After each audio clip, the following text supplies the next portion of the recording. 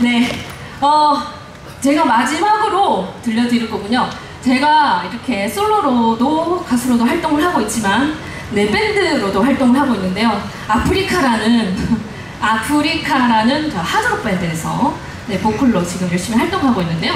그 아프리카의 곡 중에 신나는 곡이 있습니다. 여러분, 힘들고, 어렵고 막 아우 나를 힘들게 하지만 나는 끝까지 멈추지 않고 저 길을 달려나갈 것이다 하는 응원곡이 있습니다 여러분. 마지막 곡 들려드리면서 백장님 올라가도록 하겠습니다.